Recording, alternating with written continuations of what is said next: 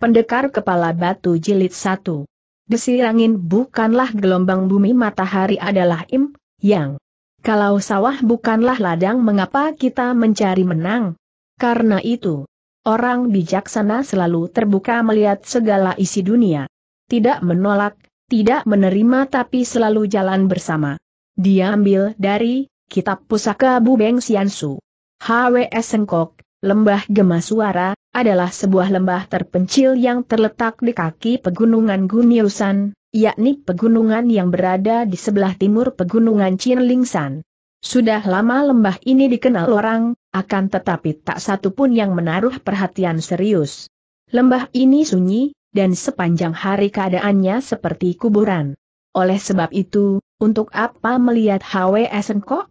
Tidak ada yang menarik di tempat ini, apalagi dengan adanya cek Ye Utokbu, kabut beracun, di dalam lembah, maka orang pun tidak ada yang mau datang ke HWS Kok. Lembah ini terlalu berbahaya, dan orang-orang Kang Ou sendiri pun yang biasanya suka berpetualang itu juga segan berkunjung ke tempat ini. Bukannya mereka takut, akan tetapi karena tidak adanya sesuatu yang menarik perhatian itulah yang membuat mereka ini membiarkan HWS Engkok merana seorang diri.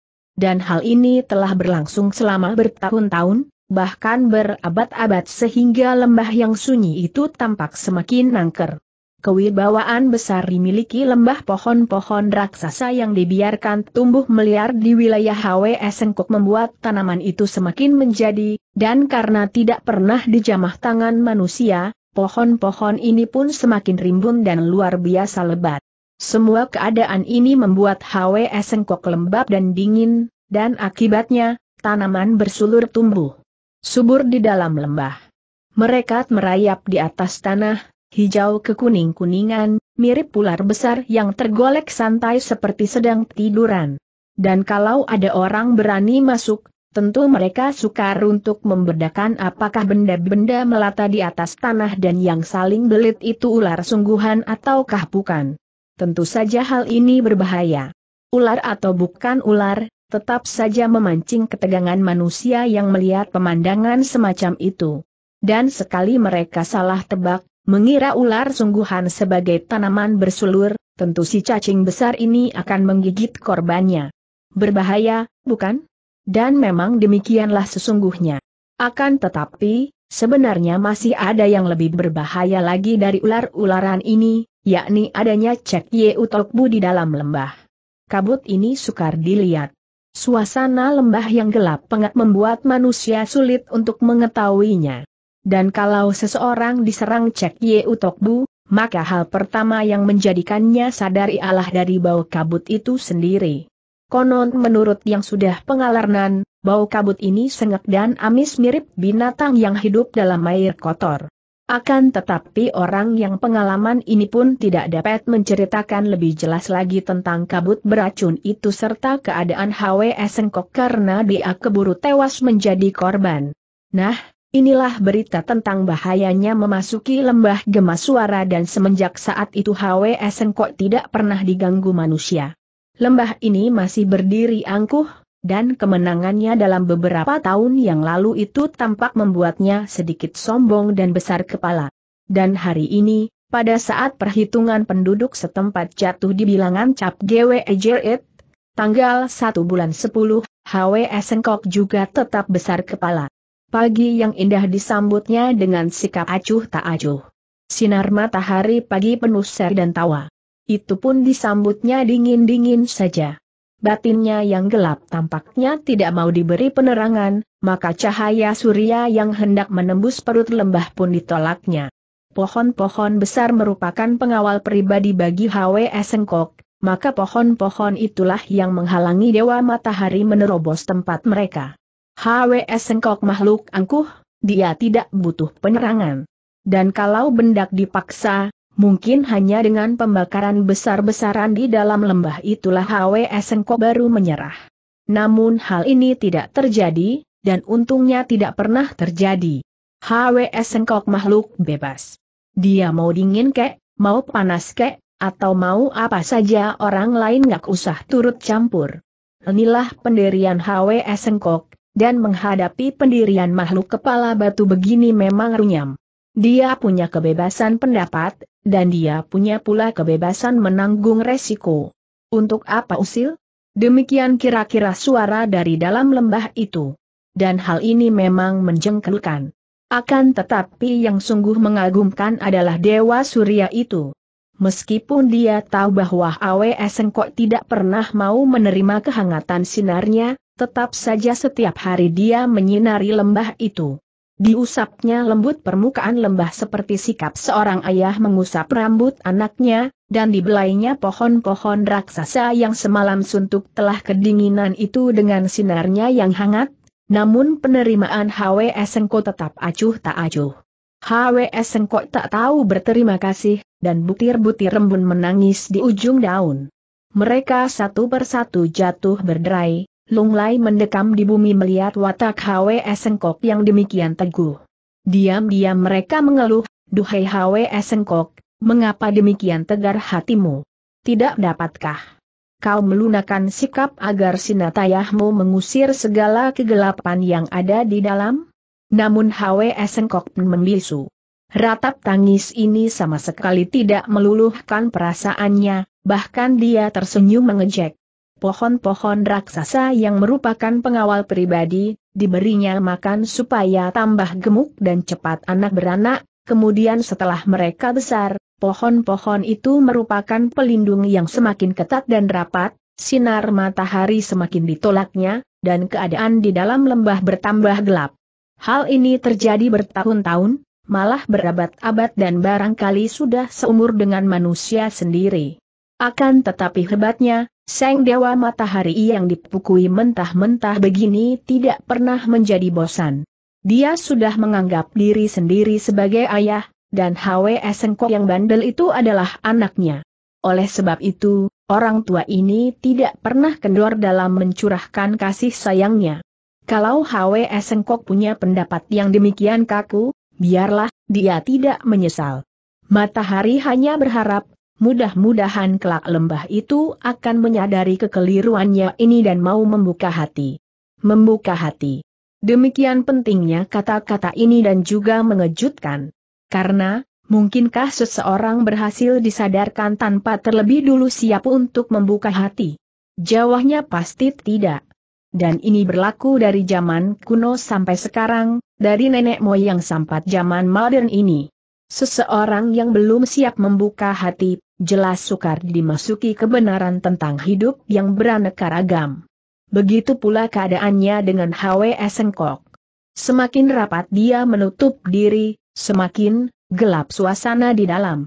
Dan matahari yang hendak memberi penerangan, menjadi semakin berat pekerjaannya. Hal ini mirip dengan seseorang yang hendak menyorot ikan di air keruh, hanya berhasil mencapai perukaannya belaka tanpa memperoleh sasarannya. Dan pagi itu, lembah gemas suara yang pendiam ini tampaknya harus mengalami hal-hal yang kurang menyenangkan, dan itu dimulai dari tampaknya dua bayangan yang saling kejar di kaki gunung. Bayangan pertama bertubuh tinggi kurus dengan pakaian serba hitam, sedangkan bayangan kedua yang mengejar sambil berteriak-teriak marah itu mengenakan pakaian kuning berikat pinggauk merah. Adalah sungguh aneh bahwa pagi yang demikian cerah ceria ini diawali oleh pertikaian manusia.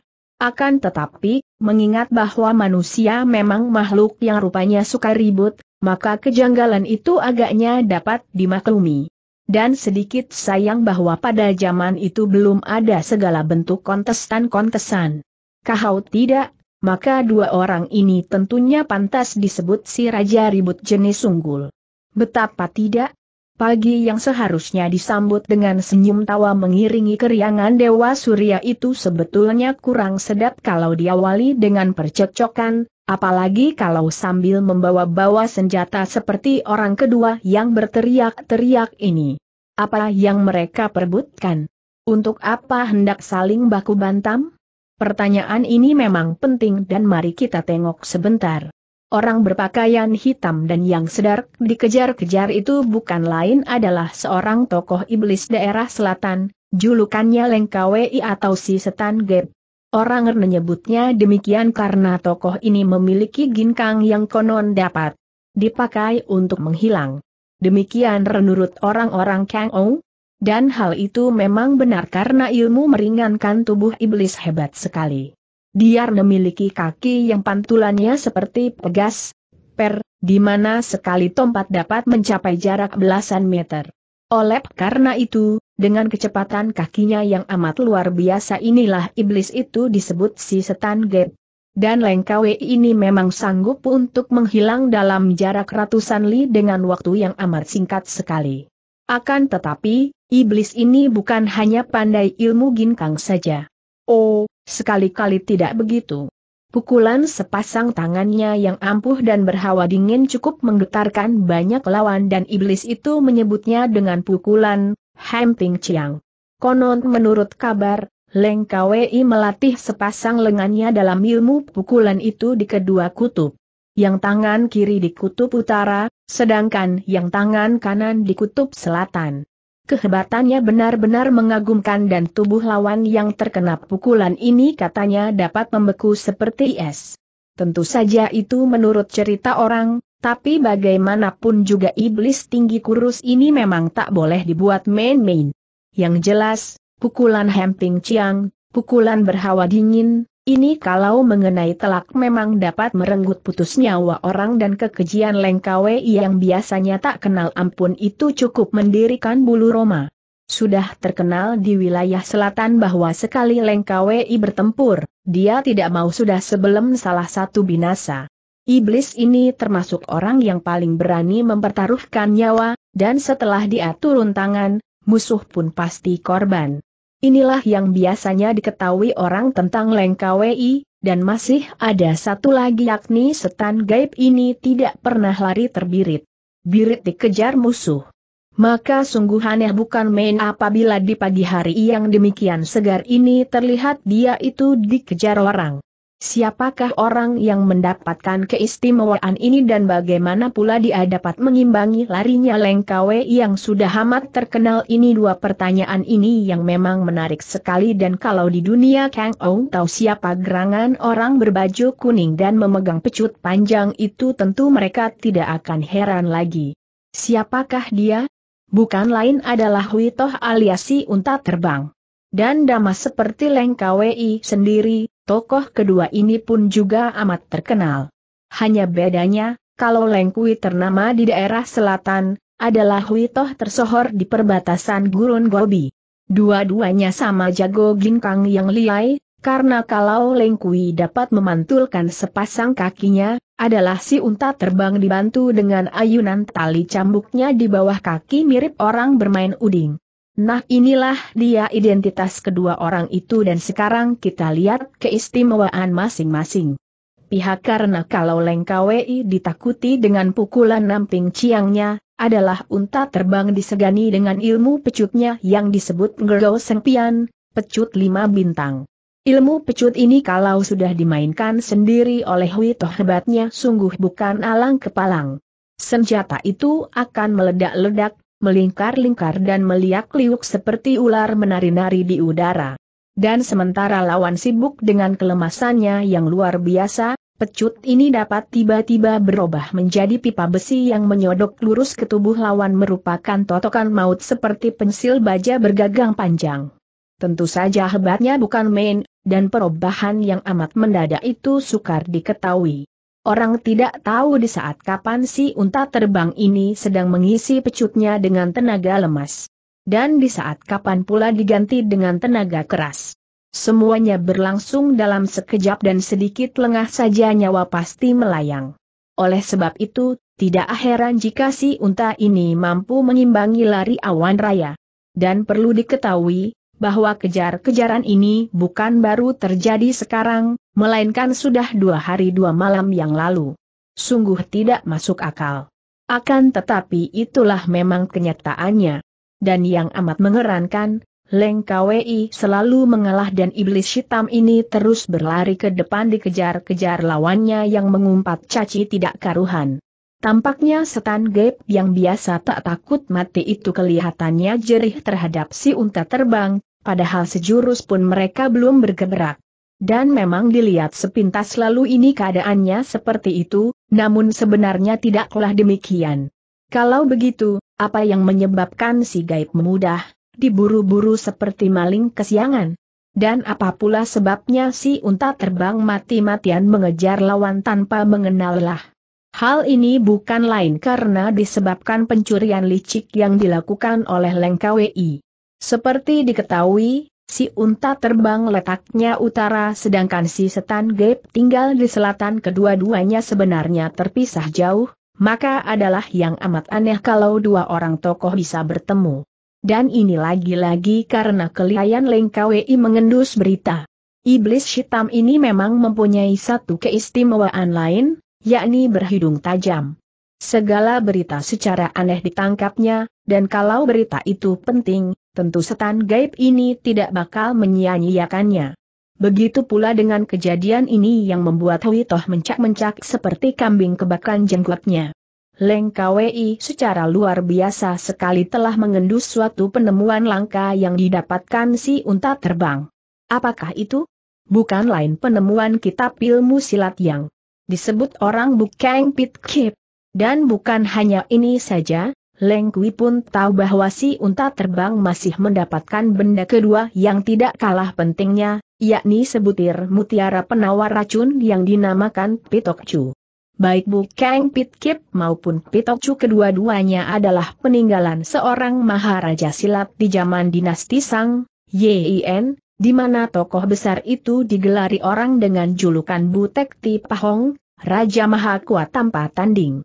Tentu saja penemuan rahasia yang demikian langka ini tidak dilepaskan si setan gaib dengan cuma-cuma.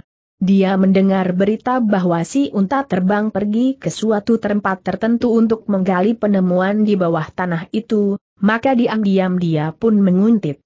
Maklum bahwa Toh bukan lawan sembarangan, Leng KWI membuntuti secara hati-hati sampai orang benar-benar mendapatkan apa yang dicari. Dapat dibayangkan betapa tegang perasaan setan gaib ini ketika melihat lawannya itu mengangkat sebuah peti hitam yang sudah tua.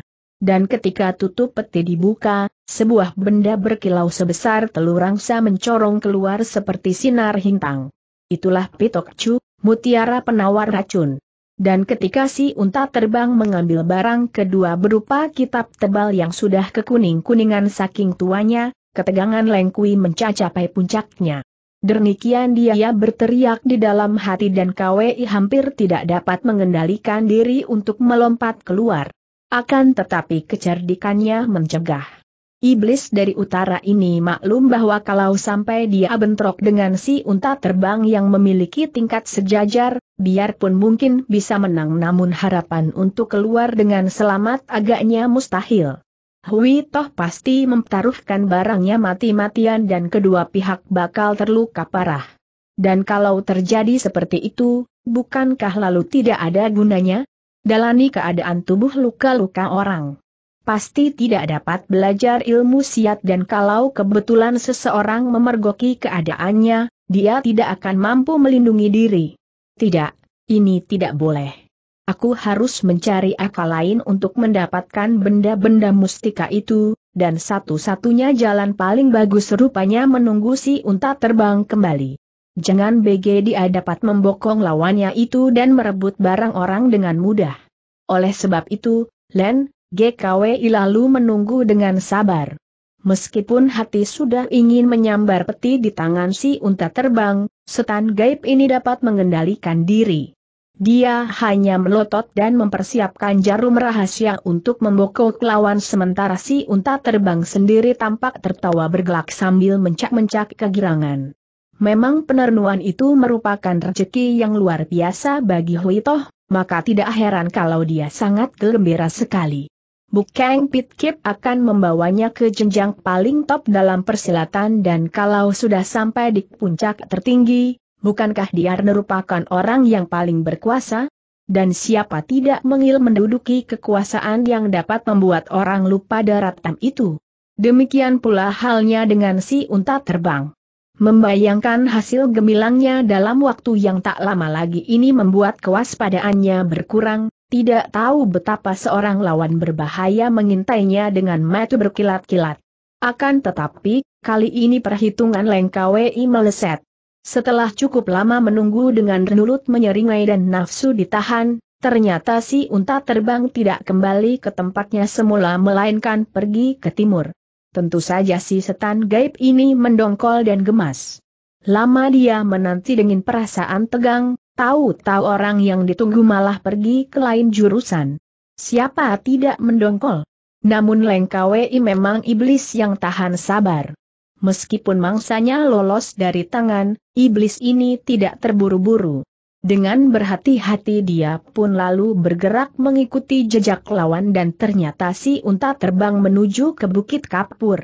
Di sini calon korbannya lalu menyelinap di antara batu-batu karang yang banyak terdapat di situ dan Leng KWI terpaksa harus lebih berhati-hati. Sejenak dia kehilangin jejak lawan, namun berkat ketekunannya mencari akhirnya si unta terbang diketemukan. Ternyata lawannya itu bersembunyi di sebuah guha yang memang banyak berserakan di Bukit Kapur ini dan Lengkawi menjadi girang. Dengan penuh kewaspadaan dia lalu mengindap-indap memasuki guha dan dilihatnya si unta terbang duduk sambil membuka-buka kitab. Tentu saja Lengkawe ini yang jadi teang dan di balik sebuah batu yang menonjol di dalam guha ia berpakaian hitam itu berlindung. Diam-diam mengepal tinju. Posisi lawan untuk dibokong sekarang terlampau sulit. Mereka berhadapan dan kalau desir angin jarum beracunnya didengar lawan, tentu Witoh akan tahu bahwa seorang musuh sedang membokong. Ini tentu saja tidak dikehendakinya. Dia mau sekali serang menewaskan lawannya, dan tidak memberi kesempatan kepada si unta terbang untuk mempersiapkan diri. Oleh sebab itu, kembali si setan gaib harus bersabar, dan rupanya kesabaran yang dimiliki ada hasilnya.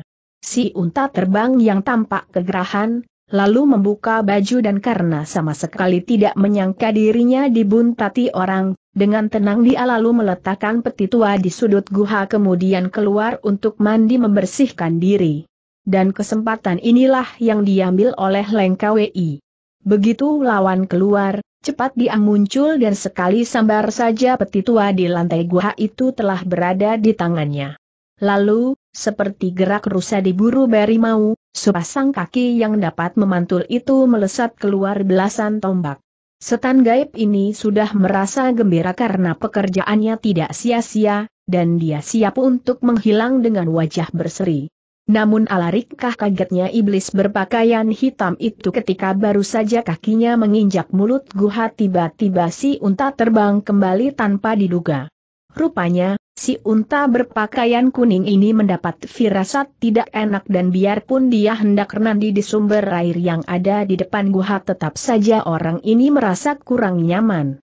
Karena itu, dia lalu masuk lagi dengan maksud untuk mengambil peti pusaka dan mandi dengan membawa pusaka di dekat dirinya. Sispa tahu, Begitu dia masuk sekonyong-konyong bayangan hitam berkelebat keluar dan peti hitam yang tadi diletakkannya di sudut guha itu ternyata dibawa pencuri. Tentu saja si unta terbang marah dan sekali mengeluarkan teriakan nyaring tubuhnya meluncur ke depan menghantam. Plak! Leng KWI menangkis dan kontan mengerahkan tenaga Hemping Chiang. Akan tetapi karena amat tergesa-gesa dan terkejut, Serangan Ja ini kurang tepat dan si unta terbang berseru tertahan dengan tubuh terpental sementara si setan gaib sendiri juga terhuyung-huyung. Cepat iblis berpakaian hitam itu tegak kembali dan sebelum lawan menyerang membabi buta, dia melompat gesit sambil berseru, Hui toh, karena kau telah menukarkan nyawamu dengan benda-benda berharga ini maka biarlah ku berikan kau hidup beberapa tahun lagi. Selamat tinggal. Leng KWI melesat dan si unta terbang terbelalak. Tadi dia tidak mengira bahwa pencuri itu ternyata si setan gaib adanya, maka dia terkejut sekali dan terhenyak. Akan tetapi setelah dia sadar dan lawan pergi dengan ucapan yang amat jurnawasi unta, ini marah bukan main. Setan gaib, pengecut kau manusia jahanam. Kalau tidak segera kau kemaalikan barang-barangku itu, Jaagan panggil aku si unta terbang, keparat. Tar tar tar.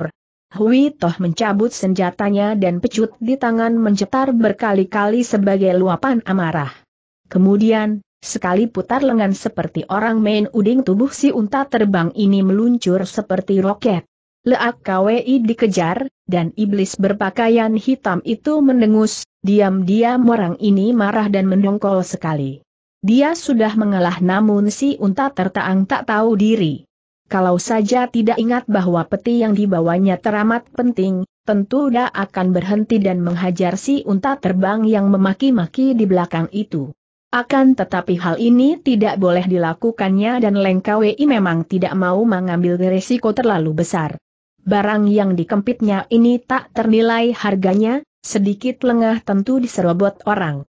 Karena itu, terpaksa dia harus mengalah dan dikejar-kejar seperti anjing diburu tuannya.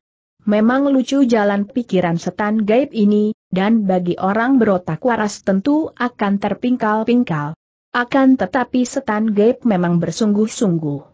Tidak biasa bagi dirinya dimaki-maki orang seperti sekarang ini, juga tidak biasa baginya sampai lari-lari seperti orang ketakutan.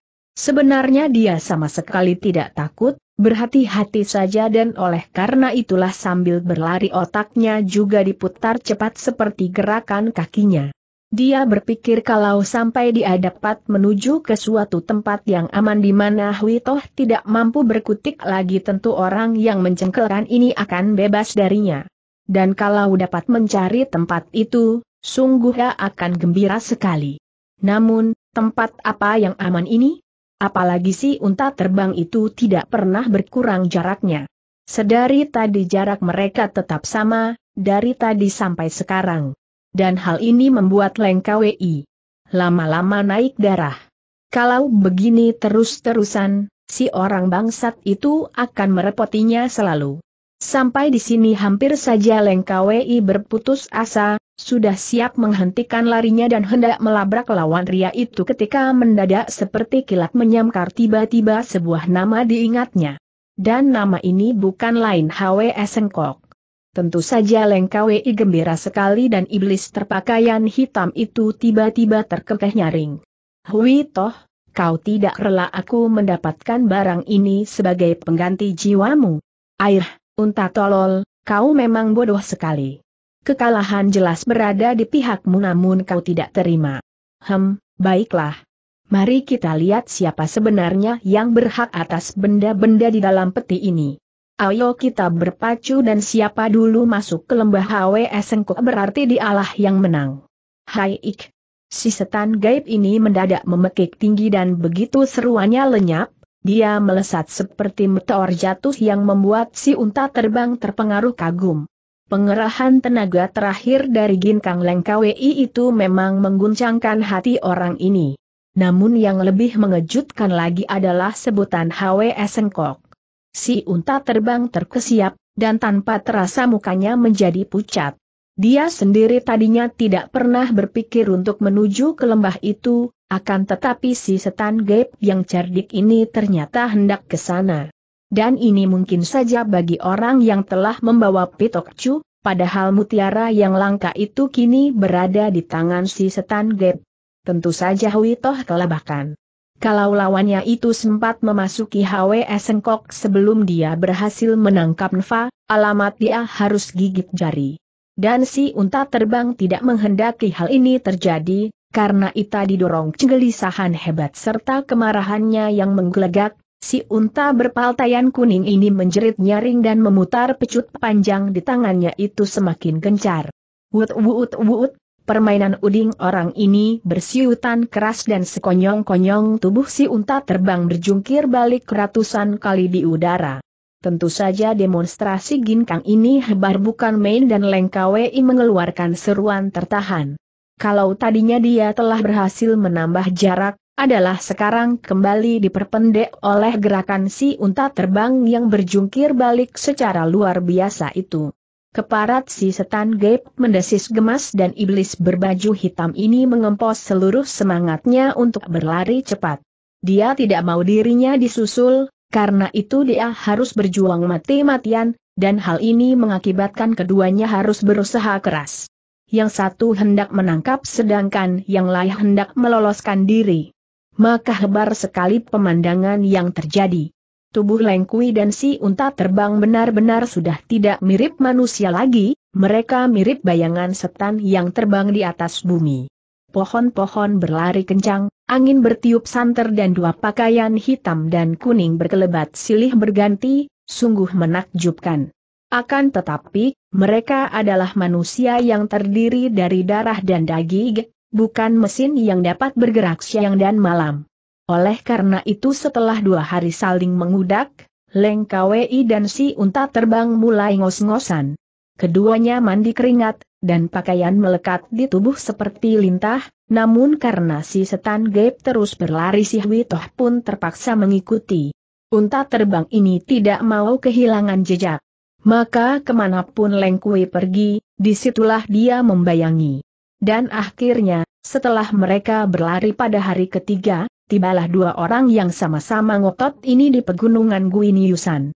Si setan gaib benar-benar kepayahan, namun begitu melihat lembah HWS Sengkok di depan iblis baju hitam ini menggigit bibirnya mengerahkan tenaga. Dia harus segera tiba di lembah itu, dan kalau usahanya ini berhasil, maka amanlah dirinya dari kejaran si unta bangsat. Dan pikiran ini menambah tenaga bagi si setan gaib membuat kedua kakinya yang sudah gemetaran itu tiba-tiba seperti terisi kekuatan baru. Karena itu, meski napas sudah memeru orang ini tetap bertahan diri untuk menjaga diri dari bahaya kabut cek ye tubuh yang sudah semakin didekatinya. Si setan gaib mengambil mutiara penawar racun dari peti hitam. Cahaya terang berkilauan tajam ketika Pitocu telah digenggam oleh Sileng KWI, dan Hui Toh yang melihat hal itu mengeluarkan pekik marah. Dia tahu apa yang dipikirkan lawannya, dan ini membuat si unta terbang beringas. Dia pun juga sudah kepayahan, lututnya gemetar dan kedua tangan yang selalu memutar-mutar uding itu juga sudah terasa sengkleh. Namun, begitu melihat si setan gaib mengeluarkan pitolecu, Si Uota terbang melengking tinggi dan gemetar di kedua kaki serta rasa sengkleh di sepasang lengannya lenyap. Kekhawatiran hebat membangkitkan tenaga ajaib di dalam tubuh Wito, dan tiba-tiba tubuhnya pun melesat seperti bidikan anak panah di tangan raksasa muda. Dan memang mengagumkan sekali kekuatan terakhir yang timbul pada diri orang ini.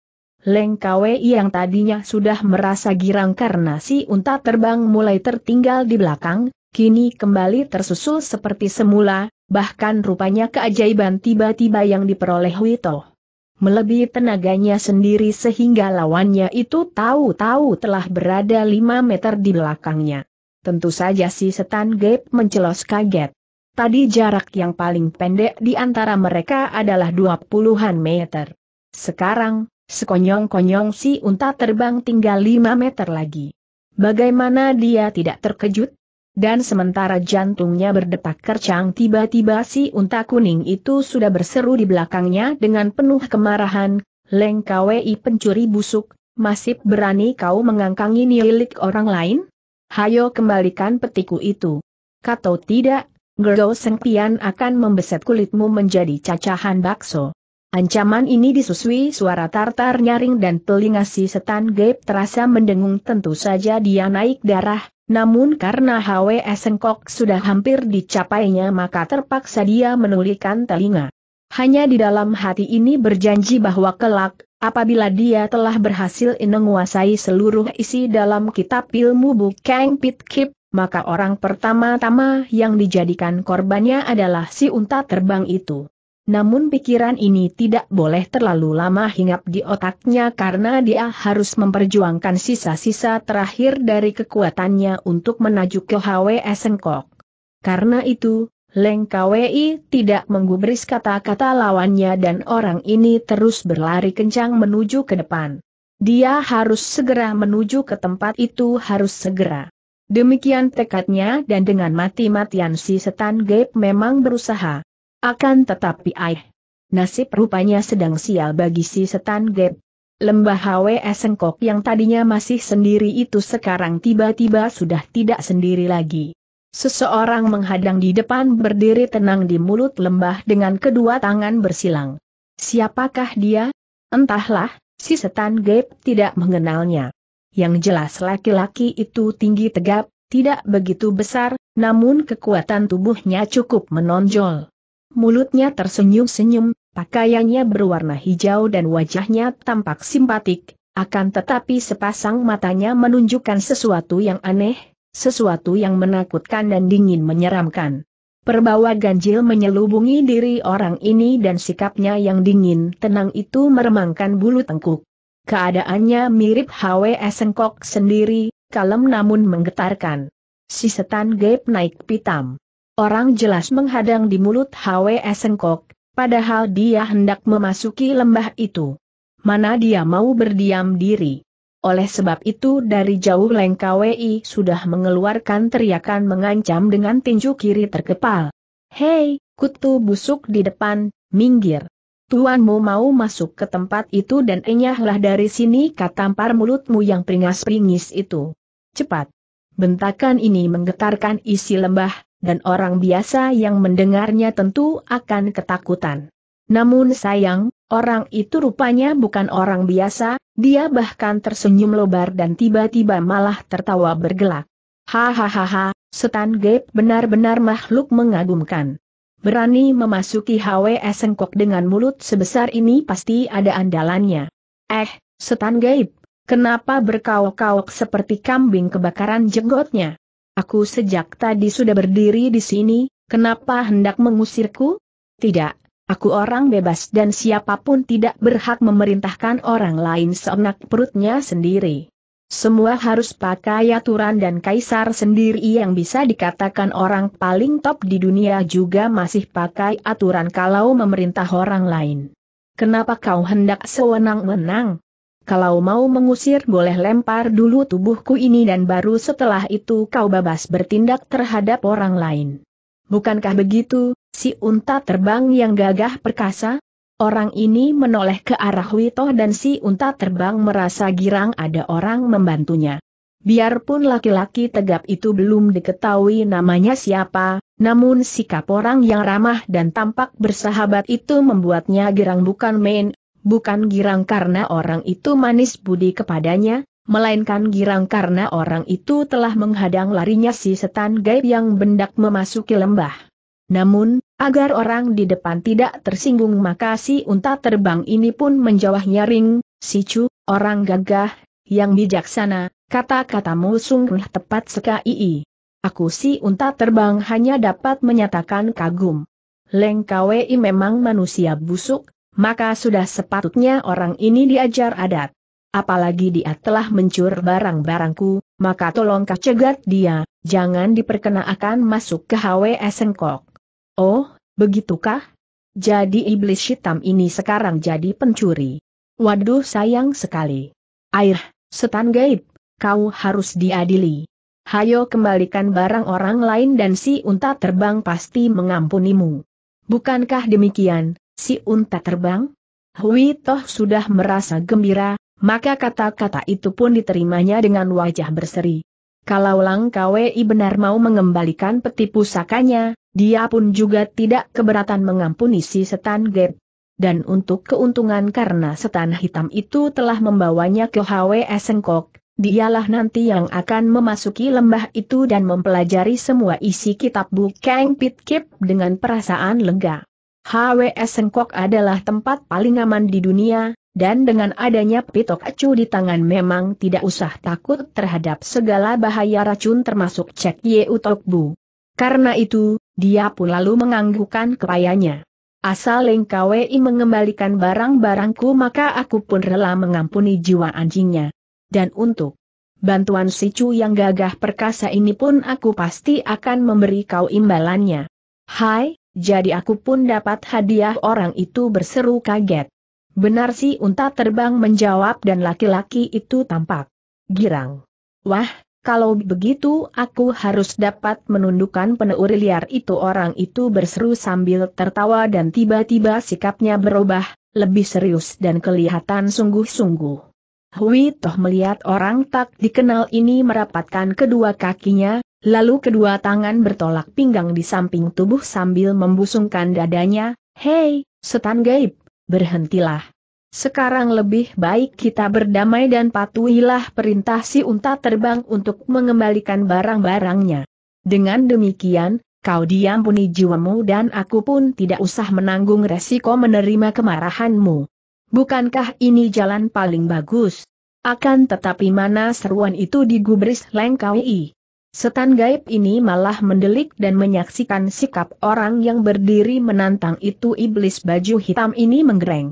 Dia sudah tiba di depan, dan karena tangan kanannya sedang memegang pitok cu, maka tangan kirinya lah yang bekerja. Dengan satu bentakan pendek iblis hitam ini menghantamkan tangan kirinya ke dada lawan dan cahaya putih berkedip dingin. Itulah pukulan Hemping Chiang, pukulan hawa dingin, yang didapat Heng KWI dalam latihan di Kutub Utara. Biasanya pukulan ini jarang ada yang berani menerima karena sekali terpukul badan tentu membeku seperti es namun sungguh mengejutkan. Orang itu malah tertawa mengejek melihat pukulan si setan gaib dan dia sama sekali tidak mengelak maupun menangkis. Dengan tenang dan mulut tersenyum-senyum laki-laki ini memandang lawannya dan ketika pukulan itu tiba, dadanya yang tadi dibusungkan penuh hawa itu sedikit dikempeskan. Terdengar suara bluk yang keras dan si setan gaib menjerit tertahan. Iblis hitam ini merasa betapa pukulannya mendarat di tempat yang lunak dan sebelum dia sempat berbuat sesuatu, tiba-tiba tangan kirinya tersedot dan sedetik kemudian suatu tenaga tolak yang arnat dahsyat membalikan pukulan sinkangnya. Tentu saja Leng KWI mencelos kaget namun semuanya sudah terlambat. Dengan satu bentakan pendek laki-laki itu berseru, pergilah titik dan tubuhnya benar-benar pergi ke atas dan akhirnya jatuh terbanting dengan pantat lebih duli. Bukles si setan gaib menyeringai dan pada saat yang bersamaan si unta terbang menghantam tengkukuya dengan pukulan tangan miring. Leng KWI tidak sempat mengelak, dan iblis hitam itu roboh terkapar dengan kepala terkulai. Hui Toh cepat merampas kembali peti pusakanya dan pitok cu di tangan setan gaib juga segera diambil. Kemudian dengan wajah berseri dan pakaian dikebutkan si unta terbang menghampiri sahabat yang telah menolongnya secara demikian mudah ini. Ia menjura di depan orang itu sambil berkata dengan mulut tersenyum, si Cu yang gagah perkasa benar-benar lihayaku si unta terbang sungguh kagum melihat si Cu berani menerima pukulan Hemping Ciang dari si setan Gap. Tidak tahu, apakah si Cu tidak terluka olehnya? Hemping Klang sedikit hanya mengandung racun dingin, maka kalau si cuk keracunan, boleh diisap sedikit dengan mutiara ini dan tubuh pun pasti sehat seperti sedia kala. Ah, begitukah orang itu terbeilak? Dan, eh haha dadaku. Tiba-tiba terasa dingin. Apakah ini gejala keracunan dari pukulan? Tengkui? Aduh, celaka kalau begitu. Unta terbang, Totong berikan mutiara itu kepadaku agar aku tidak mati konyol. Melihat orang menjadi pucat si unta terbang tersenyum aneh dan tiba-tiba matanya berkilat keji. Tadi menyaksikan kehebatan orang ini menerima pukutan si setan gaib. Hati si unta terbang terkesiap kaget. Tidak sembarang orang berani menerima begitu saja pukulan hemping ciang yang dimiliki Leng KWI. Dan di dunia ini mungkin hanya beberapa orang saja yang berani menerimanya mentah-mentah, seperti misalnya malaikat guru neraka atau murid tunggalnya yang perkasa itu, yakni pendekar guru neraka sendiri. Selain dua orang ini, barangkali tidak ada orang ketiga yang mampu melakukannya. Maka ketika tadi dia melihat laki-laki tak dikenal itu berani menerima pukulan si setan gaib, Diam-diam si unta terbang ini menduga-duga siapa gerangan orang lihai ini. Siapa sangka, sikapnya tadi itu ternyata hanya untuk gagah-gagahan belaka. Buktinya, sekarang orang ini mengeluh kedinginan karena terserang racun. HMM, ini menunjukkan bahwa laki-laki itu bukanlah orang yang terlalu berbahaya, dan dia tidak usah peduli dengan orang macam Winnie. Sebab, kalau orang itu benar-benar memiliki tingkat yang sejajar dengan dua orang tokoh dari Gutun Neraka, maka kepandaiannya sendiri masih di bawah tingkat orang-orang sakti ini. Dan mengingat bahwa peti tua yang dibawanya itu berisi benda-benda pusaka yang tidak boleh diketahui orang lain, maka menghadapi lawan lebih kuat haruslah bermanis muka. Itulah tadi persangkaannya terhadap orang itu. Sekarang, setelah dia tahu bahwa laki-laki ini ternyata bukan orang yang perlu ditakuti dan malah sudah terserang racun dingin dari pukulan Hemping Chiang, adalah lebih baik membereskannya saja. Penemuannya ini amat berbahnya, dan dia sendiri masih terheran-heran bagaimana Leng KWI bisa mengetahui penemuannya itu. Kini si setan Gabe melingkar pingsan, dan sebelum dia membunuh iblis hitam itu, adalah lebih baik membunuh laki-laki tak dikenal yang telah menolongnya ini. Memang si unta terbang itu bukanlah manusia baik-baik. Dia dan Leng KWI adalah orang yang sama-sama busuk, masing-masing setali tiga uang. Oleh sebab itu, setelah memutuskan rencananya ini si unta terbang dengan mulut tersenyum maju ke depan. Si Cu, jadi dadamu tetasa dingin tanyanya halus sambil meraba tubuh orang, dan orang itu pun mengangguk. Ya, dingin sekali. Malah sekarang seluruh tubuhku juga ikut-ikutan menjadi dingin, hih, aduh, bagaimana ini? Unta terbang, cepat tolong aku sebelum tubuhku menjadi bekutan dasar orang itu menggigil dan mulutnya berketrukan, sementara mukanya mulai kebiruan. Sekarang si unta terbang benar-benar yakin.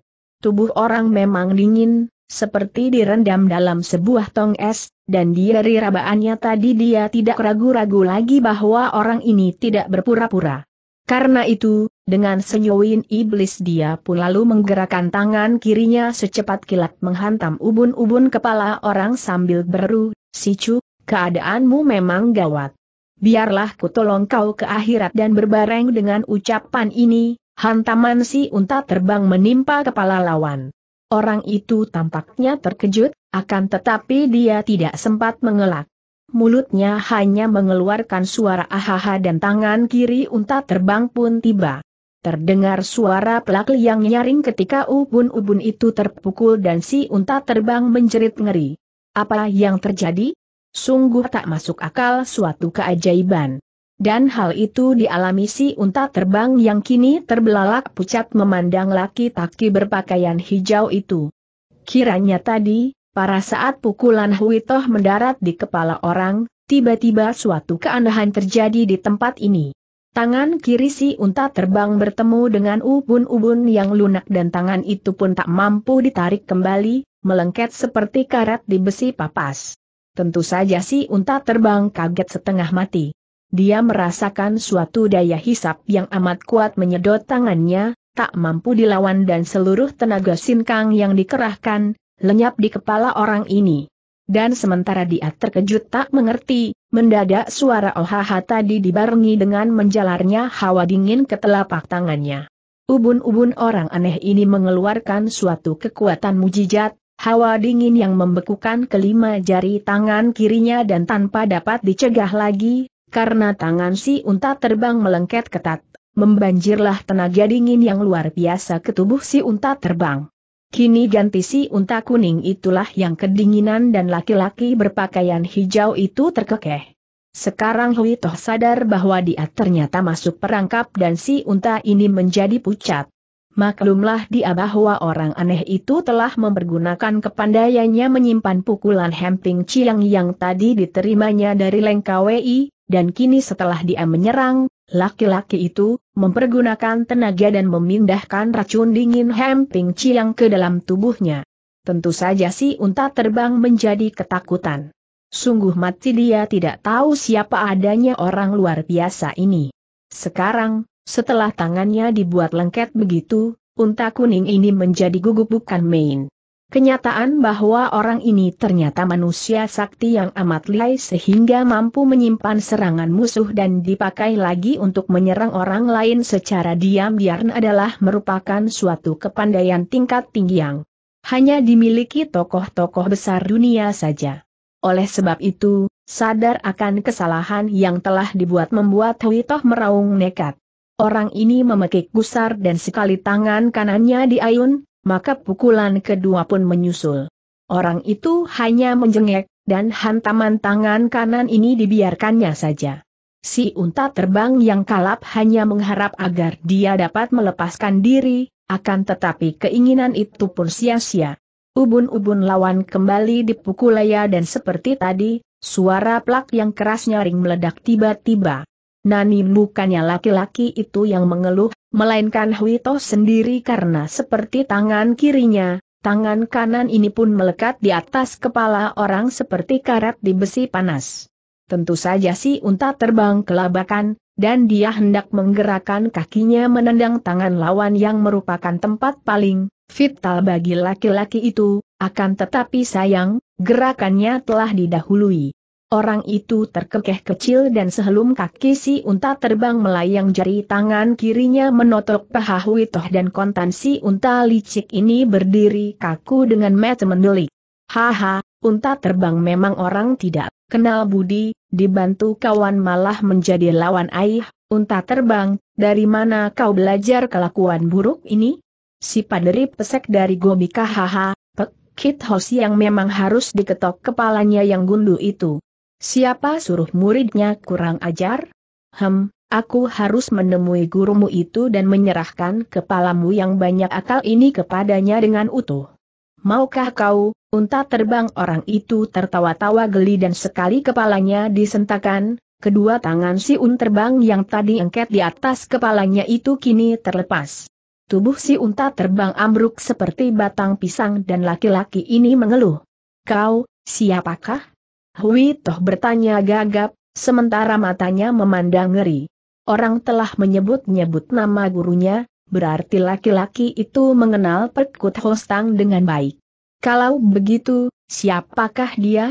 Melihat kepandaiannya yang luar biasa serta cara bicaranya terhadap Perkut Hos yang seolah-olah menunjukkan orang ini setingkat dengan gurunya dan itu agaknya memang benar. Kepandaiannya yang luar biasa memang dapat disejajarkan dengan Hosyo Gobi itu, atau mungkin malah lebih jahat lagi, Si unta terbang tidak tahu dan justru karena tidak tahunya inilah maka dia menjadi semakin gelisah. Orang itu tertawa. Unta terbang, untuk apa menanyakan siapa diriku? Nyawamu sudah tinggal serambut saja dengan pintu gerbang akhirat maka tahu pun juga tiada gunanya lagi. Lebih baik kau jawab saja pertanyaanku tadi, maukah kepala, muku bawa ke Pakut Hosiang? Kalau kau mau, gurumu itu tentu akan girang sekali karena dapat mempergunakan kepala muridnya sebagai tumbal di sana, hahaha. Laki-laki baju hijau itu tertawa bergetak dan si unta terbang menjadi pucat. Orang ini bicaranya seperti orang main-main saja, akan tetapi sinar matanya jelas tidak main-main. Malah senyum yang tadi biasa ramah itu sekarang mulai menyeringai seperti iblis haus darah dan Huitoh tergetar perasaannya. Dia sudah jatuh di tangan lawan, dan apa pun yang akan dilakukan orang itu terhadap dirinya tentu dia tidak dapat mengelak. Namun, mati di tangan orang yang sikapnya menyeramkan ini rupanya bukan mati yang enak. Apalagi pertanyaannya tadi yang menyatakan apakah dia mau dipenggal kepayannya ini sudah membuat hati si unta terbang benar-benar seakan terbang. Mana dia mau membayangkan hal yang ngeriin. Tidak, unta terbang harus mencari akal.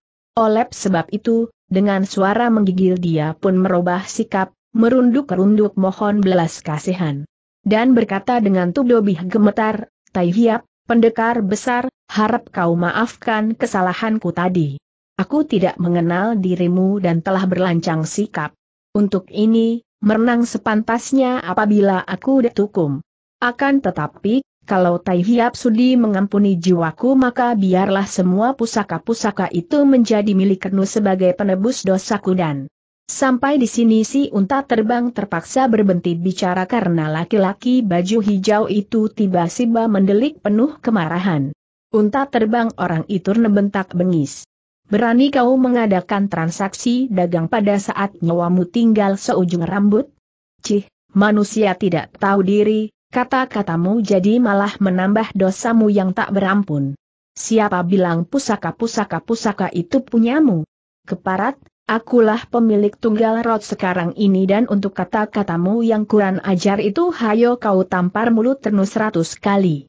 Sehabis bicara, orang ini lalu menggerakkan jari tangan kirinya dan kedua lengan si unta terbang yang tadi tertotok sekarang bebas kembali. Si unta terbang terbelalak, dan mukanya merah padam. Tidak biasa dia menerima hinaan orang, akan tetapi hari ini rupanya dia harus menerima nasib. Kalau saja kakinya dapat digerakkan, tentu dia sudah menerjang lawannya ini dengan nekat, Namun sayang, hal itu tidak dapat dilakukannya dan si laki-laki baju hijau berdiri di depan sambil bertolak pinggang dengan sikap mengancam.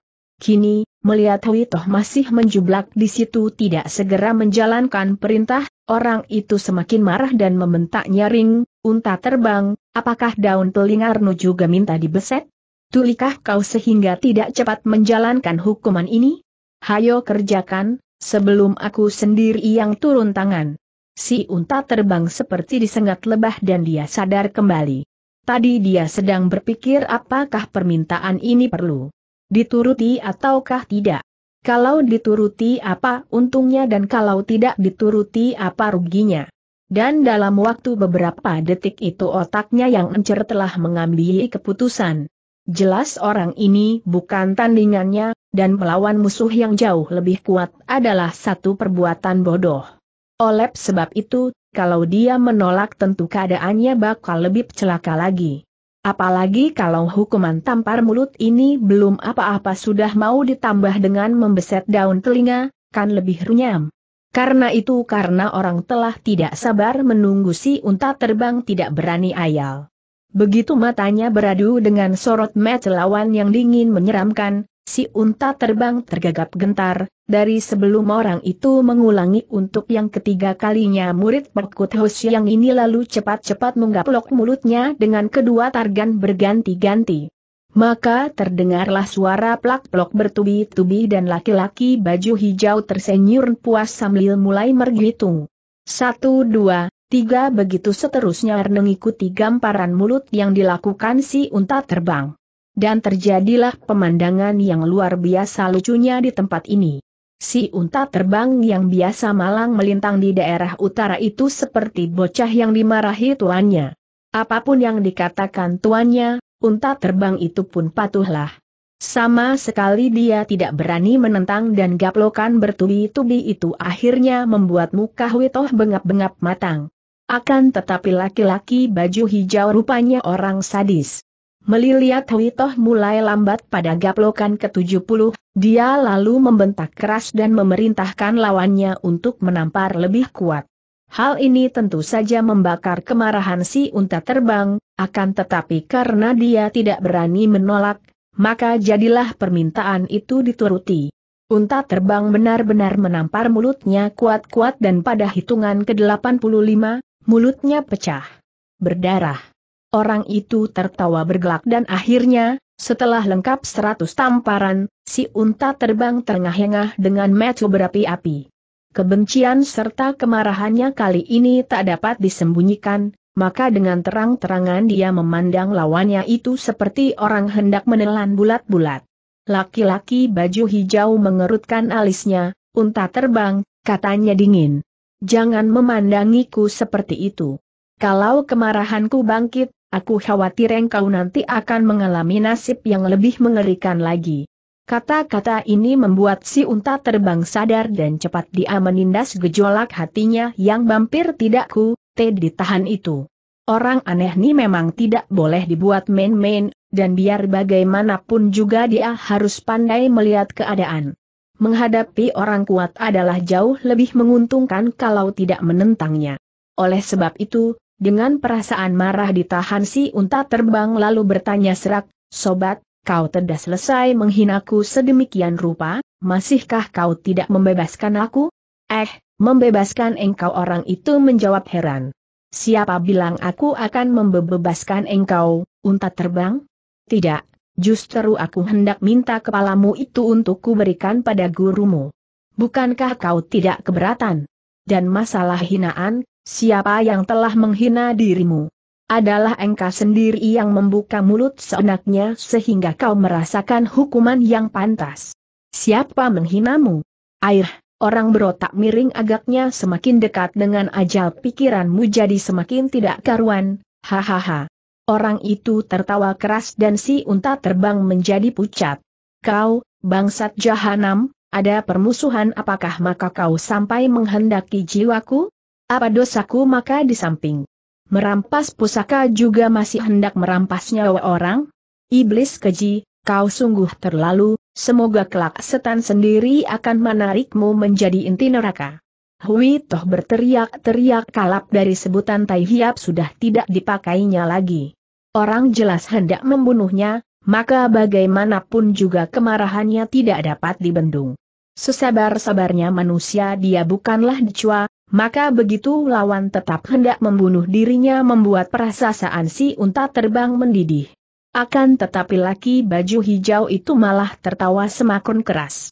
Maki-makian si unta terbang sangat dirasakan menggelitik perutnya, maka ia tertawa sampai terpingkal-pingkal. Hahaha, unta terbang, siapa yang akan menjadi entip neraka? Kau atau aku? Dilihat sekarang saja sudah jelas bahwa kaulah yang bakal bertetnu setan-setan penasaran di neraka. Dan masalah keji, hihi, siapa yang keji? Tadi kau mencoba untuk membunuhku, dan kalau aku MPH, bukankah aku yang akan binasa di tanganmu? Air, unta terbang, bicaramu semakin meluncur tidak karuhan. Dan telingaku ini tidak tahan. Hem, sekarang aku tidak sudi membawa kepalamu ke gobi. Biarlah nanti dipasang di mulut HWS Sengkok saja untuk pengusir burung, hahaha. Orang itu tertawa menyeramkan dan tiba-tiba kaki kirinya bergerak. Pecut Gerdo Sengpian yang menggeletak di atas tanah tahu-tahu melayang ke atas dan sekali sambar tangan kanannya menyerembut. Si unta terbang gemetar, mukanya pucat seperti kertas. Dia melihat betapa orang itu memutar-mutar cambuk di udara dan terdengarlah ledakan seperti halilintar memekakkan telinga. Kau, Kau mau apakah si unta terbang bertanya serak dan matanya terbelalak ke arah laki-laki baju hijau yang tersenyum-senyur mengagrikan ini. Namun laki saki itu bersikap acuh tak acuh. Unta terbang, kau jawab saja pertanyaanku ini. Ingin mati secara cepat ataukah lambat? Si unta terbang menggigil. Iblis keji, tidak cukupkah dengan merampas kitab orang saja? Mengapa aku yang sudah kasiksa ini masih juga harus kau bunuh teriakannya marah. Akan tetapi orang itu tersenyum dingin unta terbang, jangan banyak cerewet lagi. Aku sudah tidak punya waktu untuk melayanimu dan sekarang pilihlah, ingin mati cepat atau lambat orang ini mendesis dan si unta terbang mulai ketakutan. Tidak, jangan aku tidak man kedua-duanya si unta terbang berseru dan orang itu mendengus kau harus memilih unta terbang, dan ini satu kehomastan bagimu laki-laki baju hijau membentak marah dan cambuk di tangannya mengaung berputaran di atas kepala Huito. Si unta terbang, mulai histeris. Melihat maut di depan mata ini dia mulai berteriak-teriak dan cambuk di tangan si baju hijau meledak-ledak nyaring di atas kepalanya. Orang itu tampak gemas dan ketika si unta terbang masih saja memaki-maki seperti orang gila, laki-laki ini hilang sabar. Unta terbang, mengingat kau telah melepas budi dengan memberikan pusakamu kepadaku maka ku beri kehormatan padarmu untuk jalan kernatian. Akan tetapi, karena kau tidak tahu diberi keistimewaan, nah, biarlah kuputuskan sendiri saja. Sekarang bersiaplah, temui nenek moyangmu di dasar neraka sana. Orang ini menggerakkan cambuknya di udara dan ledakan seperti suari halilintar terdengar memekakkan telinga. Si unta terbang ngeri, dan dia melihat betapa cambuk yang tadi lemas itu tiba-tiba berubah kaku seperti toya dan sekali tangan orang ini membalik tahu tabu cambuk yang sudah seperti besi kerasnya itu menyambar leher. Tidak, jangan, hek, Si unta terbang terlolong namun kalimatnya terputus di tengah jalan. Senjata istimewa itu dengan tepat mengenai lehernya dan seperti sebatang pedang saja tabu tahu kepala si unta terbang mencelak terbabat carnbuk di tangan laki-laki baju hijau. Sunggah mengerikan. Namun itulah yang terjadi dan unta terbang tewas dengan keadaan yang amat menyedihkan. Sejenak laki-laki itu memandang mayat korbannya, dan senyum dingin terus, timbul di ujung mulutnya. Suasana menjadi sunyi dan lembah HWS Sengkok tampak semakin hening. Tiba-tiba orang ini memutar tubuh, Leng KWI, bangunlah. Kenapa harus berpura-pura pingsan seperti orang mati? Kau sudah sadar sejak tadi dan tidak mau meninggalkan tempat ini, sungguh nyalimu besar sekali. Hem, apa kehendakmu orang itu tiba-tiba membentak dan si setan gaib melompat dengan mata, terbeliak. Sesungguhnya dia memang sudah sadar dan hanya karena berat untuk meninggalkan warisan Butek Ti Pahong itulah maka dia masih terus berpura-pura pingsan. Kini, laki-laki baju hijau yang amat lihai itu ternyata mengetahui keadaan maka apa gunanya berpura-pura lagi? Senjata istimewa ini dengan tepat mengenai lehernya dan seperti sebatang pedang saja tahu-tahu kepala si unta terbang mencelat terbabat cambuk di tangan laki-laki baju hijau. Setan gaib berdiri dan dengan mata terkejut dia memandang orang aneh ini. Diam-diam dia menduga, siapakah sebenarnya laki-laki itu dan melihat kepandaiannya yang luar biasa, Agaknya tidak salah kalau orang aneh ini termasuk salah seorang tokoh besar dunia persilatan. Akan tetapi, siapa gerangan? Watak dinginnya patut kalau dia dimasukkan dalam golongan kaum sesat, namun siapa? Setan gaib belum pernah mendengar tentang kali laki ini dan diam-diam jantungnya terdebar tegang. Baju hijau itu melangkah maju. Melihat Leng KWI berdiri tertegun, dia lalu melempar cambuk di tangan yang berlepotan darah. Setan gaib, mau apa kau memandangku seperti orang kelaparan? Kenapa tidak segera mencabut belatimu dan membunuh diri? Setan gaib tercekat. Suara orang yang demikian dingin menyeramkan membuat bulu tengkuknya meremang. Dan diam-diam hatinya kaget sekali melihat orang itu tahu bahwa dia memiliki sebilah pisau, Padahal senjata ini tersimpan di balik bajunya yang rapat. Sungguh orang ini lihai sekali. Kau siapakah, sobat? Mengapa menyuruhku bunuh diri? Aku tidak melakukan kesalahan dan kita juga tidak pernah saling kenal. Kenapa kau demikian enak bicara iblis baju hitam ini menindas guncangan batinnya dan dengan suara lantang dia menjawab. Laki-laki itu menyeringai, sepasang matanya berkilat tajam dan setan gaib terkejut bukan main melihat sinar mata yang mencorong seperti mata seekor harimau. Belum pernah dia melihat mata yang seperti itu, dan jantung Leng KWI berdetak kencang. Perbawa yang timbul dalam diri laki-laki baju hijau ini sungguh hebat dan setan gaib tanpa terasa lalu mundur selangkah. Herm, kau semakin menambah dosa saja dengan bantahan ini, setan gap.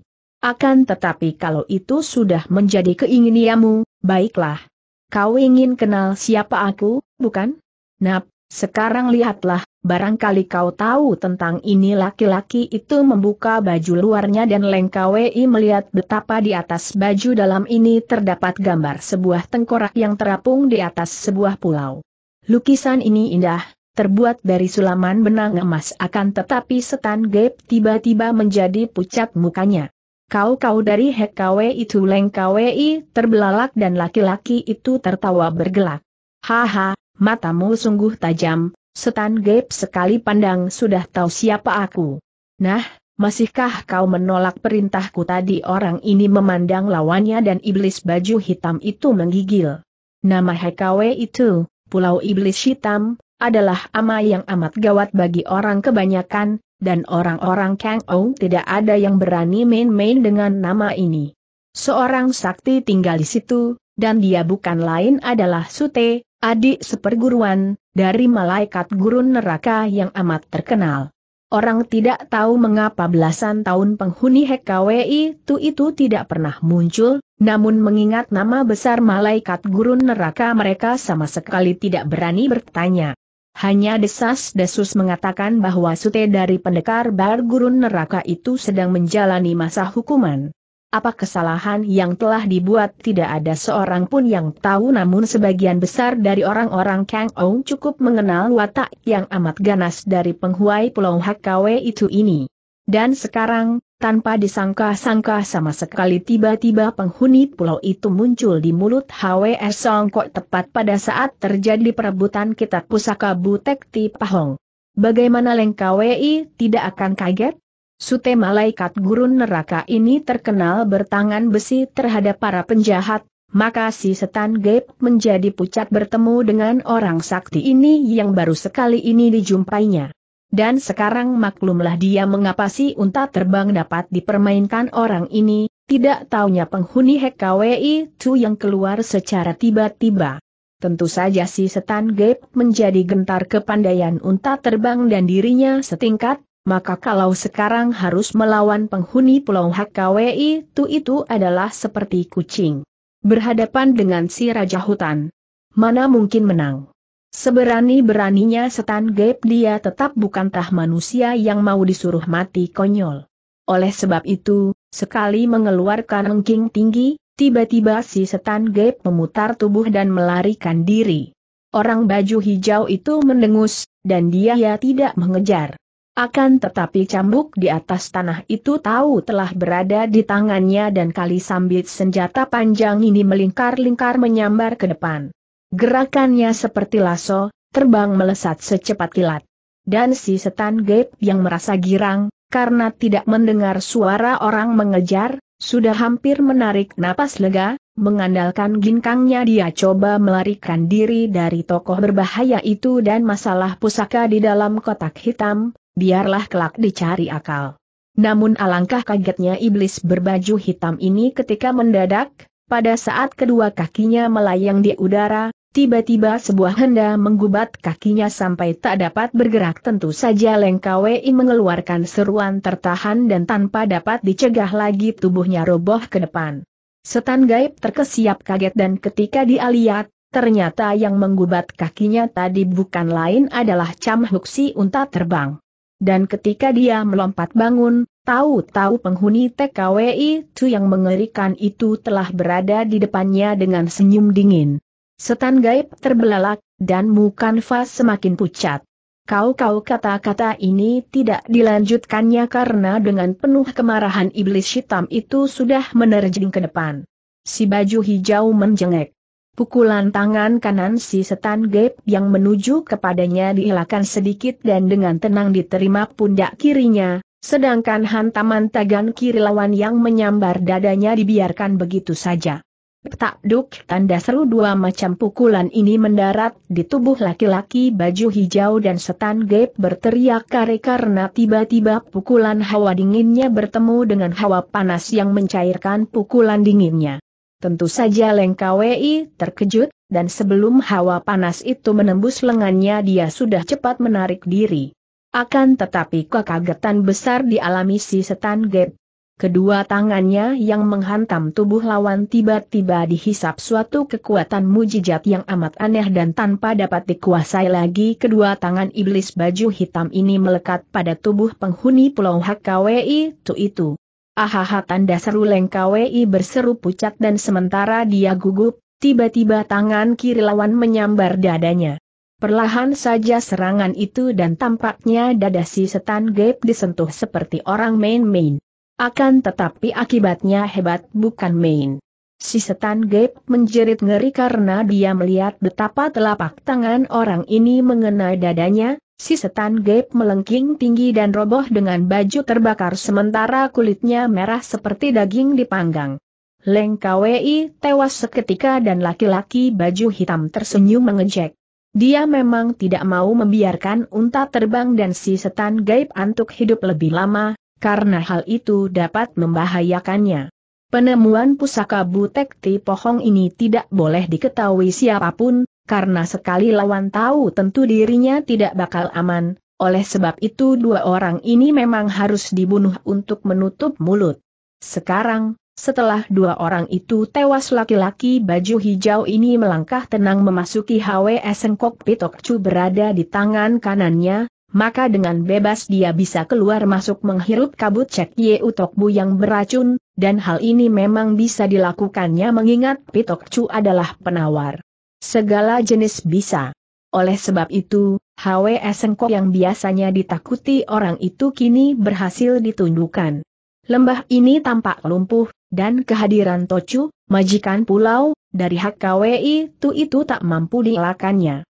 Pagi yang sunyi kini tenang kembali. Matahari naik semakin tinggi dan bayangan laki-laki baju hijau telah lenyap di perut lembah. Semua keadaan hening seperti sedia kala dan Hwe Sengkok juga tidak bicara. Hanya pemandangan kurang sedap dari dua mayat di muka lembah membuat pagi yang indah sedikit ternoda. Namun Hwe Sengkok tidak amhil peduli. Kematian seseorang sama sekali tidak menyedihkan hatinya dan ia tahu bahwa itu memang bukan tugasnya. Dan ini agaknya betul. HWS Sengkuk memang selamanya tidak mau mencampuri urusan orang lain, maka semua peristiwa yang terjadi luar dirinya dia sama sekali tidak ambil pusing. Manusia diketahuinya sebagai makhluk yang suka ribut, maka kalau mereka harus menerima akibat dari keributan yang dibuat, Hal itu sudahlah wajar. Untuk apa tuna campur? Hanya akan melibatkan diri dalam rantai setan yang tiada habisnya saja. Oh, gadis baju merah di atas punggung kuda itu manis sekali. Wajahnya bulat telur, hidungnya mancung dan sepasang alis hitam di atas kening yang halus itu menjelirit seperti bulan sabit. Ia tidak memakai yanci, namun pipinya merah segar seperti tomat masak. Ia tidak berdandan berlebihan, namun kecantikannya tetap menonjol. Gadis ini memang manis, dan pakaiannya yang terbuat dari kain sederhana itu tidak dapat menyembunyikan kepadatan tubuhnya yang ranum menggairahkan. Melihat usianya, ia pasti tidak akan lebih dari 18 tahun, dan dugaan ini memang betul. Gadis itu memang baru berumur 17 tahun lebih. Sedikit usia yang sedang hangat-hangatnya bagi setiap gadis remaja. Akan tetapi tidak seperti gadis-gadis lain yang tentu bergembira dengan usia seperti itu, adalah gadis ini tampak murung. Alis yang selalu berkerut itu menunjukkan bahwa ada suatu kejadian tidak enak dialami gadis ini, dan sikapnya yang agak melamun di atas punggung kuda semakin memperkaat dugaan ini. Apa yang sedang dipikirkannya? Dan siapakah gadis jelita itu? Ia bukan lain adalah patri tunggal atau anak kedua dari Bang San Pai Chu, ketua Beng San Pai, yang bernama So Cheng Bi. Dan yang sedang membuatnya murung bukan lain adalah percecokan yang baru-baru ini terjadi antara dirinya dengan ayahnya itu, ketua Beng San Pai yang berjuluk Chiok Tau Tai Hiap, pendekar kepala batu. Seperti yang para pembawa ketahui, Chiok Hou Tai Hiap adalah seorang tokoh besar yang baru saja pulang dari perantauannya belasan tahun di luar Tiongkok. Sepak terjangnya yang menggegerkan dunia Kangou, terutama bagi kaum Hektu, golongan hitam, membuat pendekar sakti ini dimusuhi banyak orang. Tentu saja orang-orang dari golongan Hektu itu yang disakiti hatinya oleh Chiok Teu Tai Hiap. Pendekar ini memiliki ilmu kepandaian yang amat tinggi, Apalagi setelah dia merantau sampai jauh keluar perbatasan, meliputi wilayah-wilayah Butan, Nepal dan India sendiri, ilmu silatnya menjadi meningkat hebat bukan main. Banyak ilmu-ilmu dari luar Tionggoan berhasil diperolehnya, dan perkenalannya dengan para pertapa di pegunungan Himalaya membuat pendekar besar itu semakin lihai. Sudah amat terkenal di kalangan persilatan bahwa Chiok Tau Tai Hiap adalah seorang pendekar yang keras hati, keras kemauan dan keras kepala. Sepak terjangnya yang ganas terhadap golongan hitam membuat pendekar besar ini ditakuti. Dan dia memang seorang manusia bertangan besi kebenciannya pada kaum penjahat membuat orang-orang golongan hitam itu ketakutan. Dia tidak pernah memberi ampun, dan para penjahat yang bertemu dengan pendekar ini pasti celaka. Karena itu, nama Chiok Tau Tai Hiap menyook hebat pada belasan tahun yang lalu. Apalagi setelah terjadi pengeroyokan terakhir terhadap pendekar yang gagah perkasa ini, namanya benar-benar melambung di tingkat paling tinggi. Tujuh pentolan golongan sesat mengepungnya dan mereka itu masih dibantu puluhan anak buahnya. Namun Ciok Tau Tai Hiap tetap unggul dan semua musuhnya dibasmi habis. Tentu saja hal ini menggoncangkan dunia Kang Ou dan kegemparan dilakukannya setingkat dengan kegemparan yang pernah dilakukan Shang Gan Xianjin pada tiga puluhan tahun berselang. Hanya bedanya, kalau Shang Gan Xianjin, manusia suci bermata hijau, menggemparkan golongan putih, adalah Ciok Tau Tatinap menggegerkan golongan hitam. Orang tidak tahu, Siapa sebenarnya yang lebih hebat dari kedua tokoh besar ini karena pada waktu Chok Tau Tai Hiap memuncul, Chang Gan Xian Jin tidak pernah kedengaran beritanya lagi semenjak kekalahannya di tangan seorang tokoh misterius. Dalam masalah ini, Tentang siapa adanya Chang Gan Sian Jin kami persilahkan pembaca untuk membaca cerita pendekar gurun neraka karena penulis tidak memperpanjang uraian Raja Iblis itu. Hanya perlu diketahui bahwa Chang Gan Sian Jin memang bukanlah orang sembarangan. Dia merupakan suku campuran antara bangsa Han dan bangsa Arya dan mendirikan pasukan secara diam-diam di luar tembok besar. Untuk itu, Penjelasan lengkap terdapat dalam cerita silat pendekar gurun neraka dan bagi Anda yang sudah mengikuti cerita tersebut, tentu telah mengenalnya dengan baik. Dan sekarang kita kembali kepada Ciok Tau Tatiap karena cerita gurun tokoh ini baru dikupas sedikit saja. Oleh sebab itu, penulis hendak mengajak Anda berkenalan dengan tokoh ini yang sekarang berdiam di pegunungan Bengsan perantauannya belasan tahun di luar perbatasan membuat Chiok Tau Tai Hiap menjadi rindu akan kampung halaman sendiri dan karena itu, dia akhirnya kembali dan memilih pegunungan Bengsan sebagai tempat tinggal. Mengingat bahwa dahulu diri mempunyai banyak musuh, Ciok Tau Tai Hiap lalu mulai mengumpulkan murid dan mendirikan sebuah partai yang disebut Beng San Pai. Sebelumnya dia memang sudah punya tiga orang murid, yaitu dua orang terdiri dari putra paterannya sendiri sedangkan yang ketiga adalah seorang pemuda tinggi besar bernama Lek Kawi. Namun untuk memperkuat diri tidaklah cukup hanya empat orang saja, apalagi dia semakin tua dan kedua orang murid serta anak-anaknya masih muda kaum penjahat adalah orang-orang yang licik dan curang, karena itu, mendirikan sebuah partai di tempat terpencil adalah seperti mendirikan benteng yang memperkuat keadaan diri sendiri. Ciok Tau Tai Hiap sebenarnya bukanlah seorang penakut, bahkan jauh daripada itu. Dia mendirikan Beng San Pai sebetulnya lebih tepat kalau dikatakan untuk melindungi anak-anaknya dari pembalasan dendam orang jahat. Ketiga orang muridnya itu masih muda, terutama puterinya yang bungsu, Cheng Bi, masih amat hijau untuk menghadapi tipu muslihat lawan. Karena itu, mendirikan sebuah partai di pegunungan ini adalah cocok sekali. Musuh tidak gampang masuk dengan sembunyi. Dan para murid yang selalu siap di bawah gunung pasti akan mengetahui kedatangan tamu-tamu tak diundang dan untuk ini, dia menggembleng para muridnya dengan ilmu-ilmu silat tinggi sehingga mereka itu menjadi orang-orang tangguh. Tentu saja yang paling lihai adalah tiga orang murid kepala, yakni dua orang anaknya serta Lek Hui. Akan tetapi Lek Hui telah disuruhnya turun gunung karena Ciok Tau Tai Hiap mendengar kabar bahwa Cheng Gan Sian Jin muncul kembali membuat onar dan Raja Iblis itu membantu dia memang sengaja memerintahkan pemuda tinggi besar itu untuk menghadapi Chang Gan Xian Jin dan tidak boleh pulang sebelum murid tertua ini membawa kepala Chang Gan Xian Jin. Sungguh satu perintah yang terlalu sombong.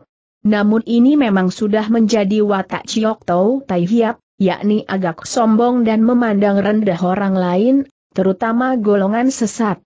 Oleh sebab itu, Lek Hui tidak berani membantah gurunya ini dan dia lalu mulai menjalankan tugasnya, di mana secara kebetulan dia bertemu dengan Pangeran Kao Chien dari kerajaan Yue dan karena pangeran itu memusuhi Wu, maka amat kebetulan untuk ikut bersama pangeran ini Chang Gan Xian Jin berada di kerajaan Wu, dan Raja Iblis itu konon menjadi koksu. Karena itu menerui datuk sesat yang terlindung dalam istana sungguh adalah hal yang sukar. Lain halnya kalau dia ikut Pangeran Kao Chien, di mana pangeran ini telah mempersiapkan bala tentaranya untuk menyerbu lawan dan di sana bisa diharapkan perjumpaannya dengan Shang Gan Xian Jin.